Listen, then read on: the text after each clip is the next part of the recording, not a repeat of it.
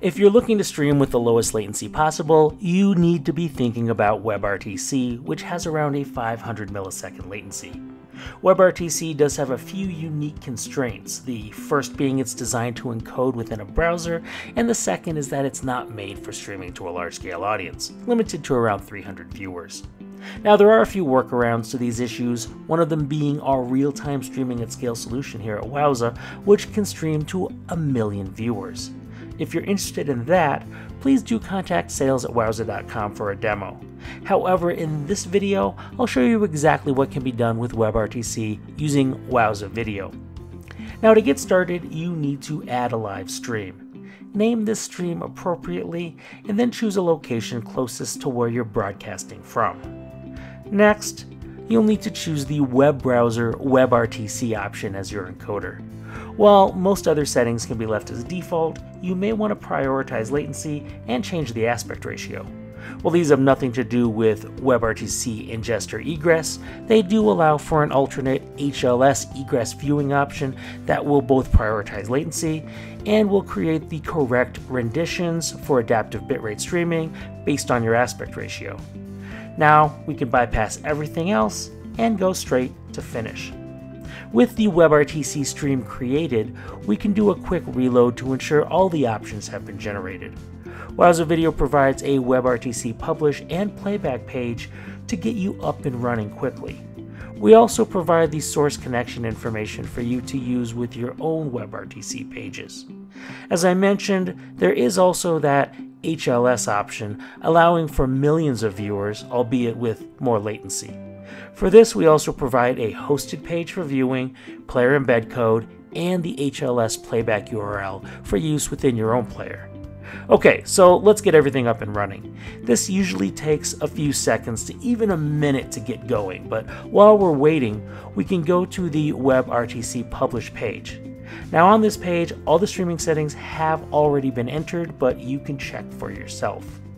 Beyond a webcam and a microphone, this page also allows virtual camera options like with OBS Studio. Just be sure you first go into OBS Studio and turn it on. Audio will require some different configurations. Generally, you'll need to install what might be considered virtual audio cables on your system, such as Soundflower, and set them as your monitoring device. You'll want to be sure your audio sources are being monitored, and then you can select Soundflower as your WebRTC audio.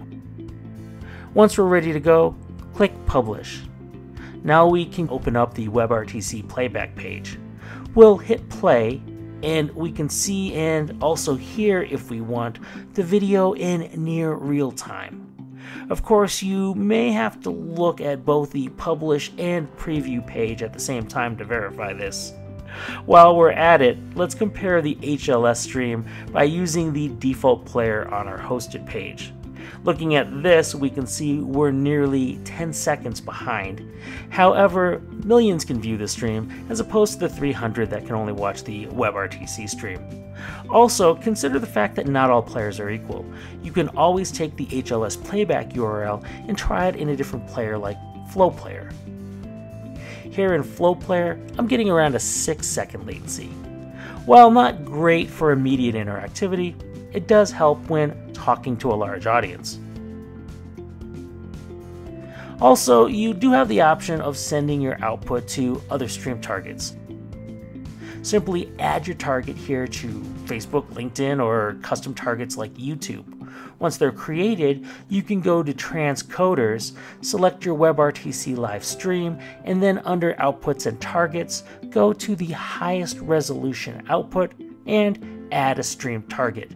You can manually enter them here or use the existing stream target options to add the ones you may have just created.